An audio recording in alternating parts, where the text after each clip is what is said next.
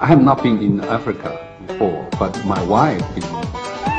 She traveled quite a lot, like 50 years ago, when she was a basketball basketball player represented China. It's a really beautiful place, except sometimes it's so hot. if I, am going there, I suggest make some suggestions and the central government.